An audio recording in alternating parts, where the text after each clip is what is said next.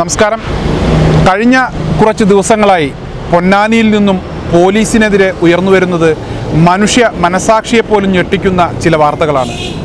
S I Babychan George അതുപോലെ തന്നെ Aneesh Peter എന്നീ പോലീസുകാർക്കെതിരെയാണ് ഗുരുതരമായ ആക്ഷേപങ്ങൾ ഉയർന്നു വരുന്നത് എന്നാൽ ഈ ആക്ഷേപങ്ങളെക്കുറിച്ച് ഞങ്ങൾ നടത്തിയ അന്വേഷണത്തിൽ ഞെട്ടിക്കുന്ന ചില വസ്തുതകളാണ് പുറത്തു വന്നിരിക്കുന്നത് പൊന്നാനിയിലെ സിവിൽ സ്റ്റേഷന് മുന്നിൽ കച്ചവടം നടത്തുന്ന അമീൻ എന്ന പേരുള്ള ഒരു വയോധികന്റെ കടയിൽ നിന്നും പതിനായിരങ്ങൾ വില വരുന്ന വസ്തുക്കൾ പോലീസ് തന്നെ അപഹരിച്ചു എന്നുള്ള ഞെട്ടിക്കുന്ന ചില വാർത്തകളാണ് ഞങ്ങൾക്കറിയാൻ കഴിഞ്ഞത്. ഒരു പെട്ടെന്ന് വന്നു ജീപ്പ് നിർത്തി.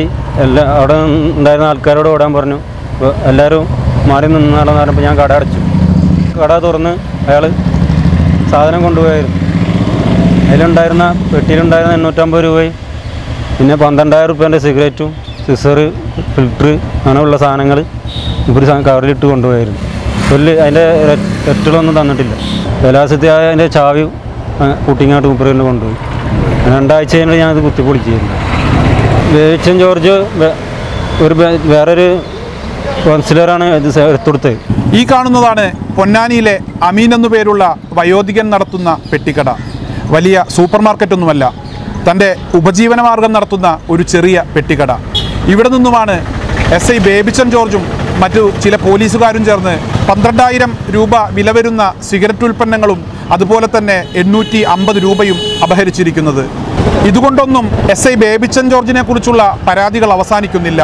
പൊന്നാനി പോലീസ് സ്റ്റേഷൻ പരിധിയിലെ ചമ്രവട്ടം ജംഗ്ഷനിൽ പ്രവർത്തിക്കുന്ന അബ്ദുറഹ്മാന്റെ പെട്ടിക്കടയാണിത്. സ്ഥിരം രോഗിയായ ഇദ്ദേഹത്തിന്റെ ഈ ചെറിയ കടയിൽ നിന്നും ബേബിച്ചൻ ജോർജ് എന്ന എസ് ഐ എണ്ണായിരത്തി അഞ്ഞൂറ് രൂപയുടെ സിഗരറ്റ് ഉൽപ്പന്നങ്ങളാണ് എടുത്തുകൊണ്ടുപോയിട്ടുള്ളത്. ഇന്നോളം ഇതിന്റെ പണം നൽകിയിട്ടില്ല. വണ്ടി നിർത്തിയിട്ട് മൂന്ന് പോലീസുകാരുണ്ടായിരുന്നു.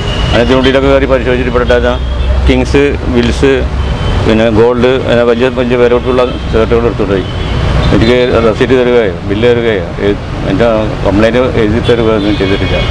ഞാൻ കുട തുറന്നിട്ടുള്ളൂ. അപ്പം ഇവിടെ ആരുമില്ല. ആർക്കും ഒരു സാധനം കൊടുത്തിട്ടില്ല. ഒരു സാധനം ആരും വാങ്ങാൻ വന്നിട്ടില്ല. രണ്ട് മൂന്നാൾ ഇവിടെ. അപ്പോൾ ആവാൻ എന്ന് പറഞ്ഞാൽ ഡ്രൈവർക്ക് അറിയാം അവന് എന്റെ അവിടെ പിന്നാലെ പോയിട്ട് പോടെ പോടെന്ന് പറഞ്ഞിട്ട് ഒഴിവാക്കിയതാണ് സാറെ കൊടുത്തോടെ സുഖമില്ലാത്ത ആളാണ്. ആ കൊടുത്താളെ ഞാൻ ഇപ്പോൾ കൊടുക്കാൻ സമ്മതിച്ചില്ല. ഞാൻ എടുത്തുകൊണ്ട് പോയാൽ നമുക്ക് സഞ്ചിയിൽ സഞ്ചിയിലോട്ട് മേടിച്ച് കൊണ്ട് സഹിട്ടൊക്കെ സച്ചിലിട്ട് കൊണ്ടുപോയി. അപ്പോൾ ഈ സമയത്ത് സ്പെഷ്യൽ ബ്രാഞ്ചിലെ പോലീസ് വന്നിട്ട് എഴുതി കൊണ്ടുപോയിട്ട് വാഹനാപകടത്തിൽ ഗുരുതരമായി പരിക്കേറ്റ അബ്ദുൾ റഹ്മാന്റെ ആകെയുള്ള ഉപജീവന മാർഗമാണ് ഈ കാണുന്ന പെട്ടിക്കട. എണ്ണായിരത്തി അഞ്ഞൂറ് രൂപയുടെ സിഗരറ്റ് ഉൽപ്പന്നങ്ങളാണ് ഈ സ്ഥാപനത്തിൽ നിന്നും ബേബിച്ചൻ ജോർജ് എന്നു പേരുള്ള എസ് ഐ എടുത്തുകൊണ്ടുപോയത്. സംഭവത്തിൽ സ്പെഷ്യൽ ബ്രാഞ്ച് അന്വേഷണം ആരംഭിച്ചതായാണ് അബ്ദുൾ റഹ്മാനിൽ നിന്നും ലഭിക്കുന്ന വിവരങ്ങൾ. തൽക്കാലം അന്വേഷണ വിധേയമായി ബേബിച്ചൻ ജോർജിനെ സ്ഥലം മാറ്റിയിട്ടുണ്ടെങ്കിലും മറ്റു നടപടികളിലേക്കൊന്നും പോലീസ് ഇതുവരെയും കടന്നിട്ടില്ല. പൊന്നാനിയിൽ അകാരണമായി പോലീസിന്റെ ക്രൂരമർദ്ദനത്തിനിരയായ നജുമുദ്ദീൻ എന്ന യുവാവ് ഇന്ന് ചികിത്സയിലാണ്. എന്താണ് ഈ മർദ്ദനത്തിന്റെ കാരണം എന്നുള്ളത് ഇന്നോളം വ്യക്തമല്ല. നിജമുദ്ദീന്റെ സഹോദരൻ ജലീൽ നമ്മോടൊപ്പമുണ്ട്. ഈ കഴിഞ്ഞ ഇരുപത്തിനാലാം തീയതിയാണ് പെട്ടെന്നൊരു ബാപ്പാന്റെ ഫോണിലേക്ക് ഒരു കോൾ വരുന്നത്. പോലീസ് പൊന്നാനി പോലീസ് പോലീസ് സ്റ്റേഷനിൽ നിന്നാന്ന് പറഞ്ഞിട്ട് കോൾ വന്നത്. പിന്നെ ഒരു അരമണിക്കൂർ കഴിഞ്ഞപ്പോൾ രണ്ട് പോലീസുകാർ മഫ്റ്റിയിൽ പോലീസുകാരാന്നറിയില്ല ഒരു ഒരു ഉണ്ടായിസം രൂപത്തിൽ അവർ വന്ന് വീട്ടിൽ കയറി അതിക്രമിച്ച് കയറി അവരെ പിടിച്ചു അടിച്ചു. അങ്ങനെ ഞങ്ങളെ വീട്ടിലുള്ള വണ്ടി എടുത്തിട്ട് തന്നെയാണ് അവർ സ്റ്റേഷനിലേക്ക് എന്ന് പറഞ്ഞ് കൊണ്ടുപോയി.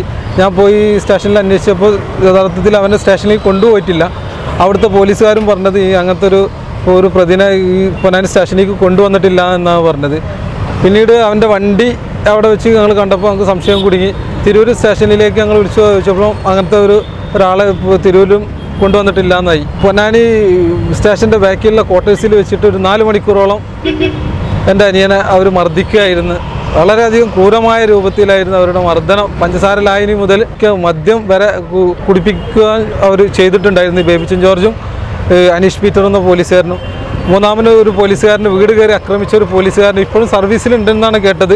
ആ പോലീസുകാരന് ഇപ്പോൾ പറയുന്ന സംഭവം എന്ന് പറഞ്ഞിട്ടുണ്ടെങ്കിൽ ബേബിച്ചൻ ജോർജ് പറഞ്ഞ അടിസ്ഥാനത്തിൽ ഞാൻ വന്നത് എന്നുള്ളതാണ്. ഈ പഞ്ചസാര ലായനി കൊടുത്തത് ഡോക്ടർമാർ പറയുന്നത് അത് ആന്തരിക അവയവങ്ങൾ എല്ല് പോലത്തെ സംഭവം കിഡ്നി അതിനെല്ലാം മെല്ലെ മെല്ലെ തകരാറിലായിട്ട് ഈ എല്ലൊക്കെ ഉരുകിപ്പോകുന്ന സംഭവമാണ് കൊടുത്തത്. അത് പെട്ടെന്ന് കാണാനും കഴിയില്ല എന്നുള്ളതൊക്കെയാണ് പറയുന്നത്. ഇപ്പോൾ ചികിത്സയിലാണ്.